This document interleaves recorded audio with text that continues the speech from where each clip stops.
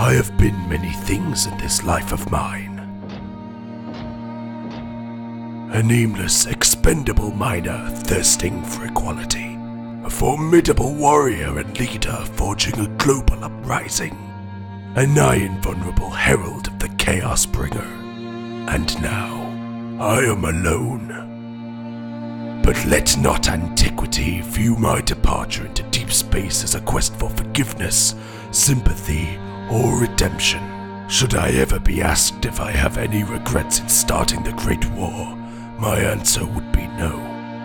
The simple truth is, the war was necessary. For too long, the lower castes toiled under systematic oppression and in deplorable conditions. Our social standing dictated our fates. We were to live, work, and die as nameless, unappreciated slaves. For those of us who wanted the faintest taste of self identity, it could only be earned in the gladiatorial pits of Kaon. We risked our lives in each battle, pushed through agony and fatigue, all for the chance to prove our worth to our spectators and to ourselves.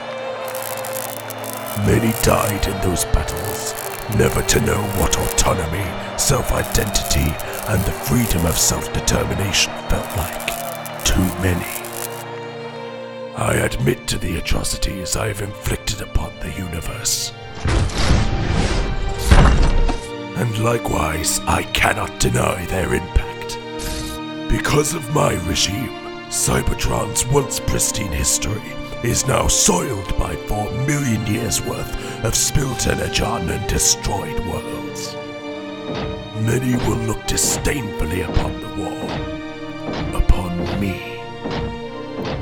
Many more will want it all to fade into the annals of time as a tragedy best forgotten. But for those who wish to search deeper, for those who wish to discover and face that which others wish to remain hidden, they will indeed discover something of value in this dark chapter of posterity. A grisly lesson on the importance of equality. But I must be honest with myself. Equality for all had ceased being my driving force eons ago. It was a lust for revenge that consumed my spark. Lust for revenge that determined my path.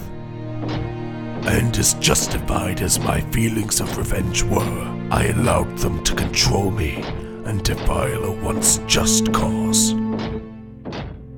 Nevertheless, the war is my legacy. And what is a legacy without errors and pain? Without sacrifice and grief? And what good is a legacy if future generations cannot learn from it? From the vices as well as the virtues.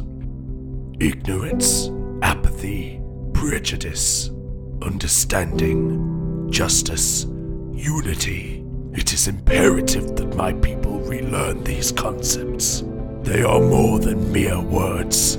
They are attitudes, behaviors, worldviews. They can destroy whole civilizations or rebuild them. They can corrupt individuals or enlighten them.